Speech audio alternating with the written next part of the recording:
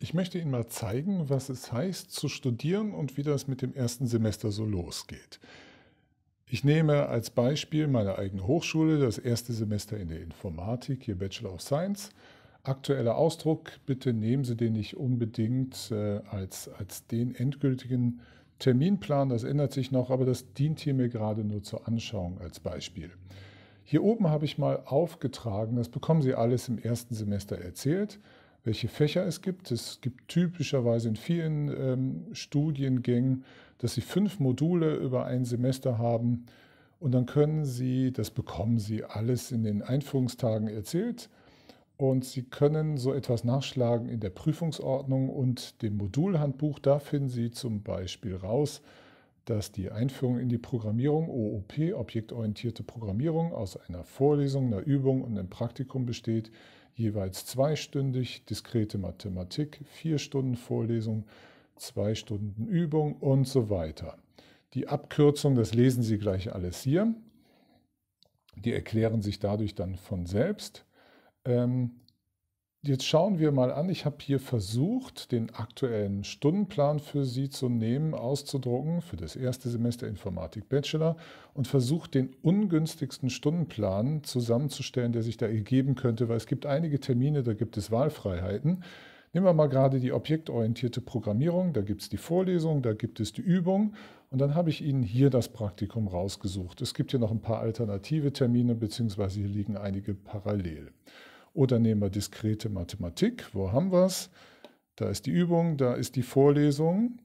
Ähm, da müsste es noch, sehe ich gerade nicht, wo ich so nah da bin. Hier, da gibt es noch da die Vorlesung. Zweimal Vorlesung und einmal die Übung. Das sehen Sie hier, V4 und Ü2. Wenn da immer so zwei steht, dann sind das immer anderthalb Stunden. Grundlagen der Informatik sehen Sie, das biete ich diesmal an. Nehmen wir hier die Vorlesung und dann haben wir noch die Übung am Freitag naturwissenschaftliche und technische Grundlagen, das sehen Sie hier verteilt.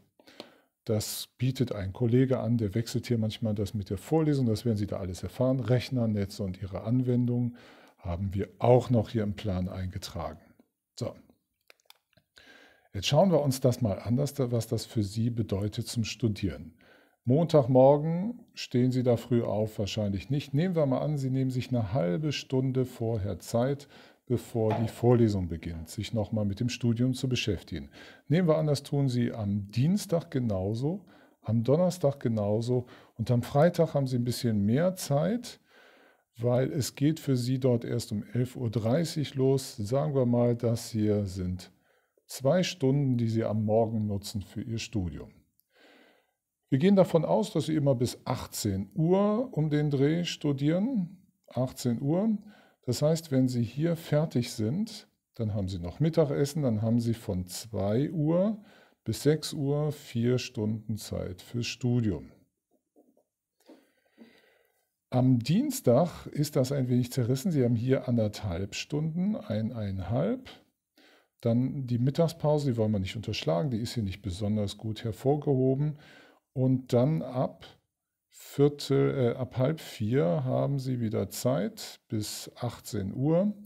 Das sind dann also zweieinhalb Stunden.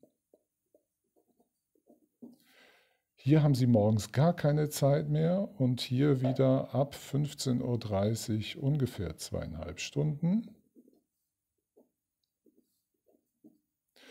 Hier sind Ihnen zweimal anderthalb Stunden Blöcke frei. Das Mittagessen liegt dazwischen, das sind drei Stunden. Wenn Sie an dem Tag fertig sind mit äh, dem Praktikum, dann sehen Sie, das geht bis 17.15 Uhr, dann haben Sie, sagen wir noch eine halbe Stunde Zeit, bis wir 18 Uhr haben. Und den Freitag, tut mir leid, müssen wir auch mal durchplanen, auch wieder zweieinhalb Stunden am Nachmittag 2,5 Stunden am Nachmittag. So sieht Ihr Studium aus. Wenn Sie das füllen wollen im, Beruf, im Sinne eines Berufs, wie ich Ihnen das in einem anderen Video dargestellt habe, jetzt gucken wir mal gerade, was wir so auf Zeiten kommen. Eine halbe Stunde, noch eine halbe macht eine, anderthalb, plus zwei sind dreieinhalb, vier, fünf, acht Stunden, zehneinhalb, elf und nochmal fünf sind 16, sind 20 Stunden. Also wenn ich mich hier nicht vertan habe, sind das 20 Stunden die Woche, die Sie außerhalb der Vorlesungszeiten aufbringen. Diese orange markierten Sachen, Ihre Anwesenheitszeiten, das habe ich Ihnen hier oben in die Ecke geschrieben. Das sind 18 Anwesenheitsstunden. Wenn wir das zusammen addieren, kommen Sie auf eine 38-Stunden-Woche.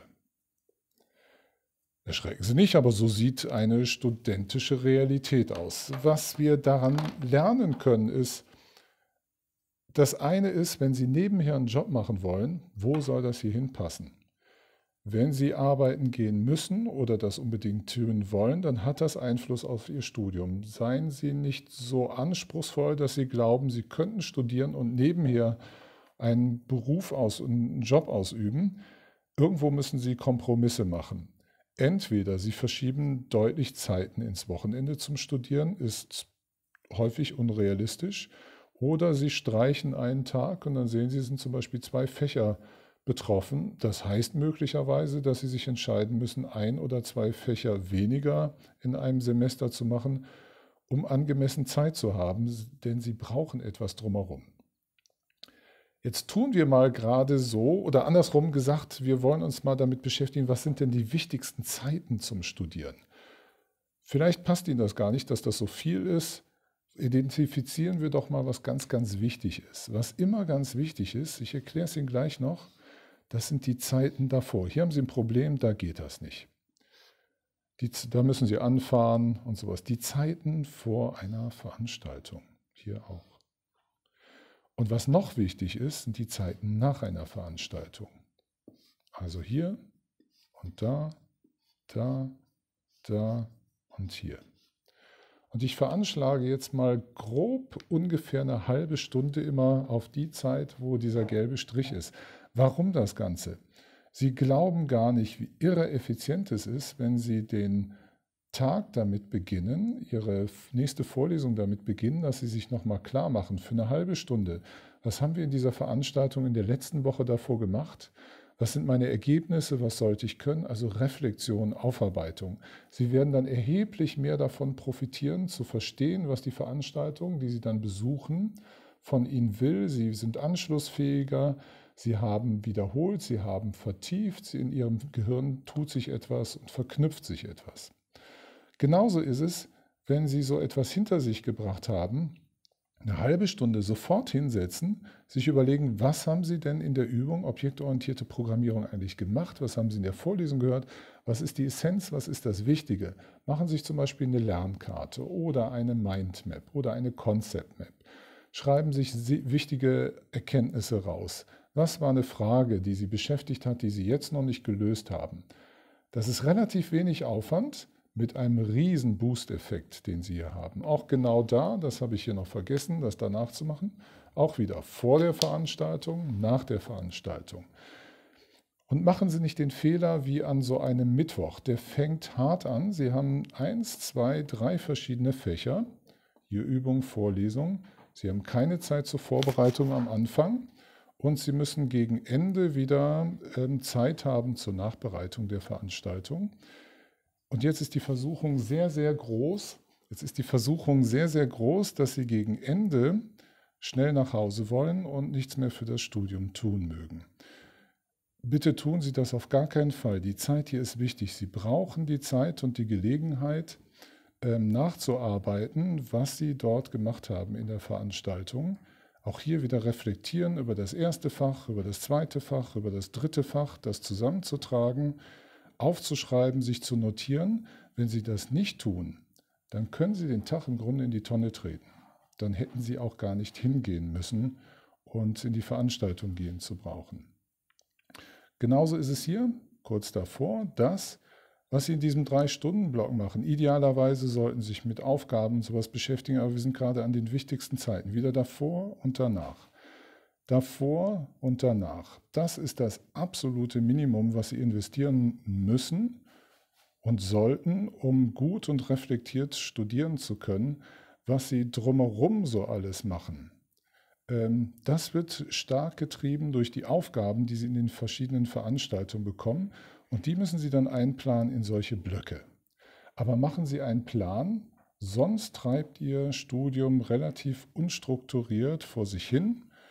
Und ähm, das ist nicht besonders zielführend. Sonst treibt es, sonst wird es sich irgendwie ergeben mit ein wenig Glück, dass Sie durch das Semester kommen.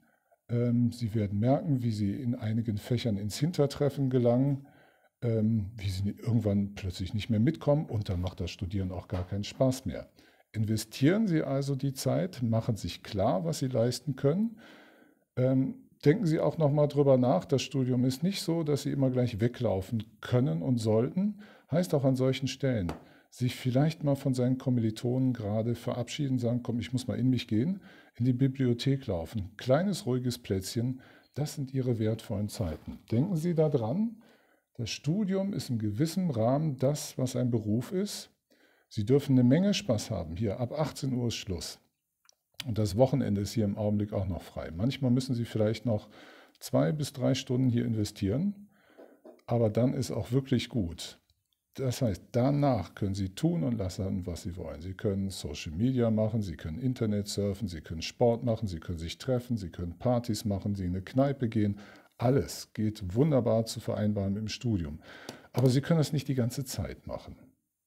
Okay, das mal erste Gedanken, wie so der Studienstart aussieht, was da so auf Sie zukommt und wie Sie dran gehen können, Ihren Tagesablauf und Ihre Woche zu planen. Viel Erfolg dabei. Und wenn Sie Tipps haben, auch höhere Semester und jüngere Semester, gerne in den Kommentaren. Ich freue mich. Und wenn Sie Fragen haben, natürlich auch. Danke.